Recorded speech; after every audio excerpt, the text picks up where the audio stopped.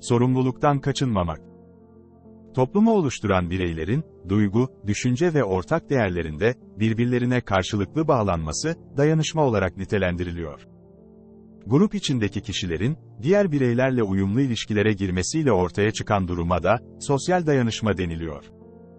Bu dayanışma duygularının zirveye çıkacağı, İslam alemi için önemli bir aya giriyoruz. Ramazanda oruçlar tutulacak, teravihler kılınacak, ibadetler yapılacak. Ama en önemlisi, sosyal dayanışma daha da artacak. Ülke genelinde, bu yılın çok zor geçeceğine dair, öngörü ve beklentiler yüksek. Buradan hareketle, Ramazan ayını fırsat bilerek, yardımlaşmalarımızı bu doğrultuda değerlendirmemiz faydalı olacaktır. Türkiye, 31 Mart'ta önemli bir seçim yapacak. Halk sandığa giderek, beldelerini yönetecek yeni başkanları belirleyecek. Ülkemizde belediyecilik deyince, topluma daha yakından temas akla geliyor. Tabi bir de imar mevzusu var. İmar deyince ise akla ilk gelen rant oluyor. Ama alanımız olmadığı için, o konuya girmiyoruz. Konumuz, şehirlerin daha güvenli ve yaşanılır hale getirilmesi. Bu süreçte ise, akıllı şehir uygulama ve çözümleri ön plana çıkıyor. Ülkemizde, akıllı şehir çözümleri konusunda ziyadesiyle yetkin firma bulunuyor. Umarız ki seçilecek olan başkanlar, teknolojiyle belediyeleri buluşturma noktasında daha fazla gayret sergiler ve en önemlisi de, yerli çözümler konusunda gerekli hassasiyeti gösterirler. Şehirleri ekonomik olarak cazip hale getirme, şehre yapılacak yatırımları arttırma noktasında, belediye başkanlarına önemli görevler düşüyor. Yine umarız ki belediyeler reel sektör içi bilgi ekonomisini esas kabul edecek uygulamaları hayata geçirirler. Ankara Büyükşehir Belediyesi, her ne kadar geçen dönemde teknokentlerle çalışmalar yapmak istese de, kurduğu işbirliklerinin arzu edilen seviyede olduğunu söylemek mümkün değil.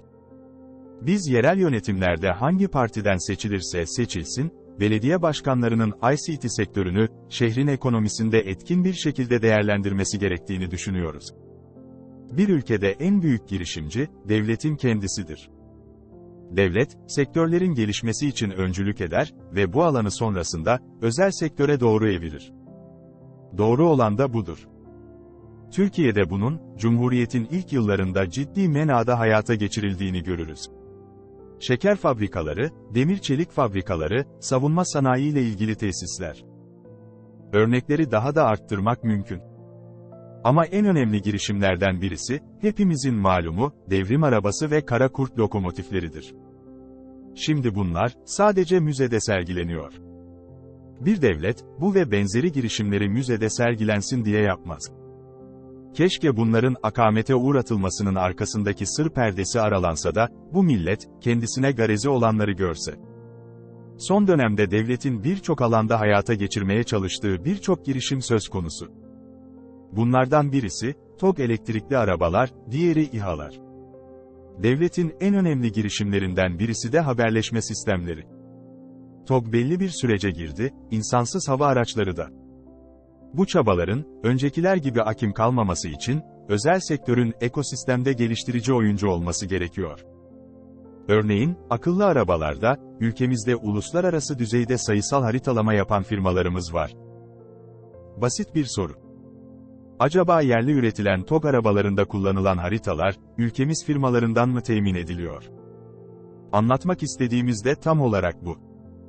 Tam da buradan hareketle, bizim sektöre, yani haberleşme sektörüne değinmek istiyorum. Bila istisnasız, irili ufaklı firmalarımızın bir konuda ülkemizde üretilen çözüm veya ürün varsa, öncelikli olarak onu tercih etmesi gerekiyor. Yerli firmalara sahip çıkmak, aynı zamanda ülkemizin geleceğine de sahip çıkmaktır. Düne kadar kamuda önemli görevler üstlenmiş kişiler, bugün özel sektörde yönetici pozisyonunda olabilir, bunu yadırgamamak gerekiyor. Lakin dün kamuda çalışırken sorumluluğu alanında bulunan konumdan, özel sektöre geçip ilgili alana hizmet eden firmaya geçince, dünü unutmaması gerekiyor. Yani dün kendisine yapıldığında kabul etmediği itirazları, bugün kendisinin de yapmaması gerekiyor. Tüm yöneticilerin öncelikli sorumluluğu, ülkesinin çıkarlarına dikkat etmesi. Çünkü görev başında kim olursa olsun bu sorumluluktan kaçamaz. Bu sayıda, 31 Mart seçimleri vesilesiyle, akıllı şehirler ve akıllı belediyecilik uygulamalarını masaya yatırdık. Başta Cumhurbaşkanlığı Dijital Dönüşüm Ofisi olmak üzere, alanla ilgili kafa yoran kurum ve kuruluşlar, proje geliştiren önemli firmalar değerlendirmelerde bulundu. Mart sayımız için ayrıca, girişimcilik ekosisteminde yeni bir sayfa açan, fon bulucunun CEO'su Hakan Yıldız'la konuştuk.